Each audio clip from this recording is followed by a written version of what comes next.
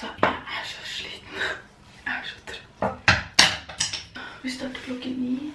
Og akkurat klokken ni starter oppvarming til uttak. Til, og uttaket er til World, Cup.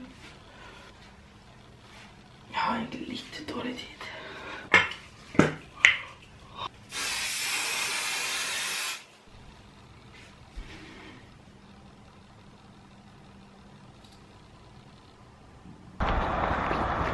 Da er jeg på vei. Og det var faktisk veldig kaldt ute. Jeg har ikke med noen hodebånd. Da hadde håret blitt ødelagt uansett, så ikke at det er noe farlig, egentlig. I det hele tatt, veldig fint vær, egentlig. Det er en sånn greie at hver gang vi er på samling, så er det bra vær. Med tanke på at vi er inne i hallen litt flere timer enn vanlig, så er det akkurat det er bra vær. Det har faktisk alltid vært sånn. I hvert fall når vi har samling her i Oslo. Å, det var faktisk skikkelig kaldt. I hvert fall. Denne helgen har vi samling. Vi har i går var første dag, fredag, og i dag er det lørdag. Og så skal vi ha samling i morgen søndag også. I dag starter vi dagen med uttak til World Cups som kommer nå. Det er Egypt, eh, Tyskland, Baku og Doha. Som også da er OL-kvalifisering, så man får jo se hvordan det går i eventuelt da Egypt og Tyskland før man drar til de andre, fordi det er tre av fire som teller. Å, fy fader. Det er kaldt, ass. Og ja, i dag er det uttak for det, da. Jeg skal bare kjøre bom. Mest sannsynlig kanskje jeg skal prøve skranke. Men jeg er ikke klar i skranke. Ikke at jeg er veldig, veldig klar i bom heller, men jeg tror ikke mange er veldig, veldig klare for dette uttaket uansett. Siden det er ganske tidlig på året. Nei, jeg skal kjøre bom i dag. Da kjører jeg bare pikert avsprang, men resten er som vanlig. Hvis jeg klarer opphopp. Jeg har hatt litt, eh, eller jeg har hatt jeg har hatt en nerve i klem i hofta de siste dagene. Så den har vært skikkelig sånn, ja, ganske vond egentlig. Men sånn, ikke sånn farlig vond, det er bare sånn ubehagelig vondt. Kollapser litt i beinet hvis jeg treffer den nerven. Litt sånn Winter Wonderland her ute da. Winter Wonderland.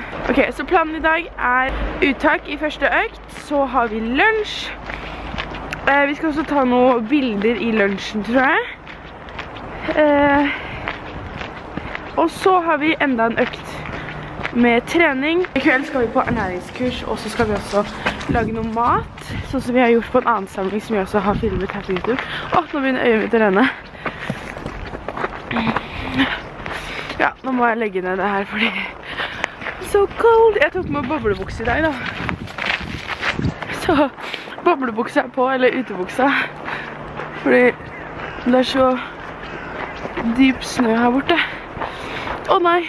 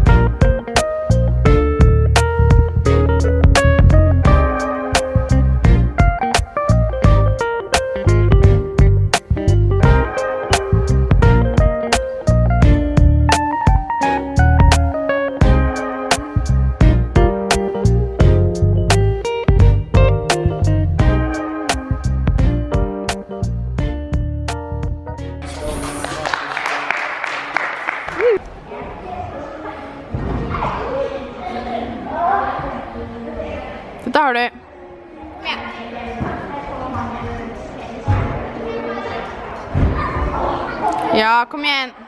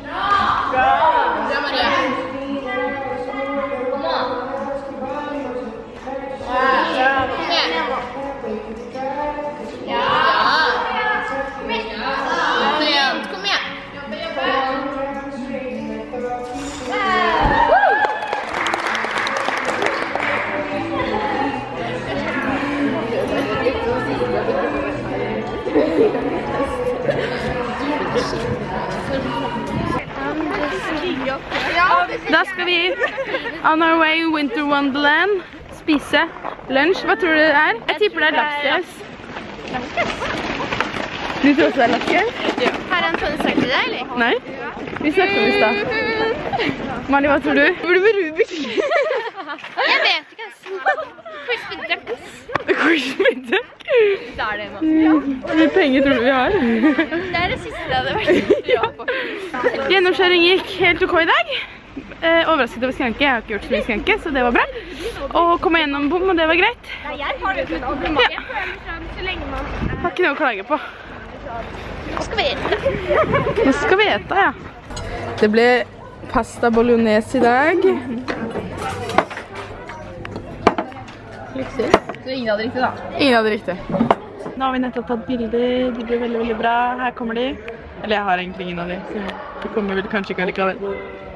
Hei, velkommen til vår blogg om konspirasjonsteorier. Der er introen.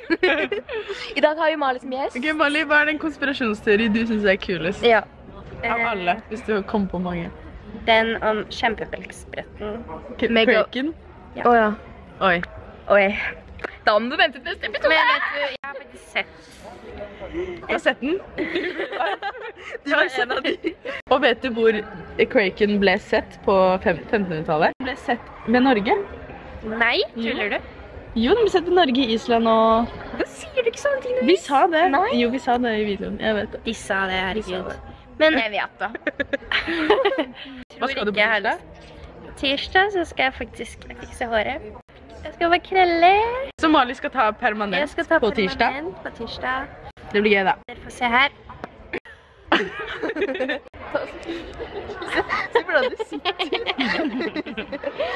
Ok, neste konspirasjonsteori. Hva skal Hva kommer til å skje når vi hopper på trampoline etterpå? Ja, Det var jo skummelt, da. Ja, det var jo litt skummelt. En, to, tre, fire,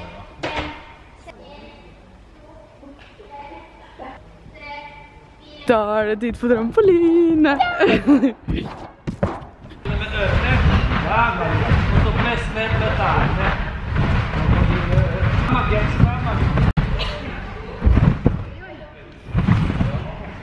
Så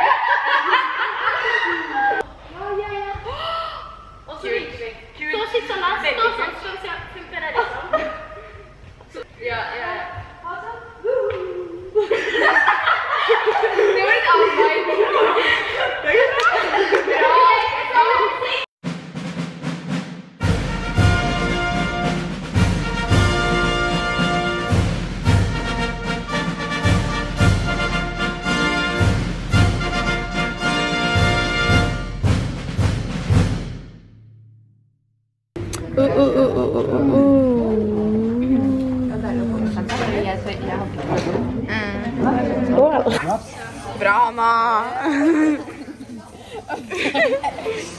Nå har vi kylling oppi vann. Det ser veldig rart ut. Men vi skal shredde kyllingen, det er derfor.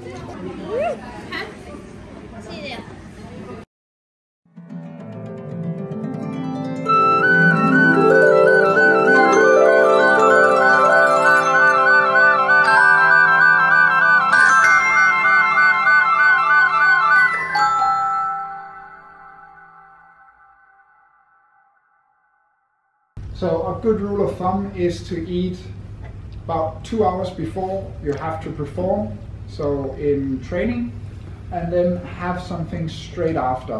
And then the rest of the day, you probably also feel that you get less hungry. Jeg har i hvert fall kommet meg til Hasle fra Skøyen.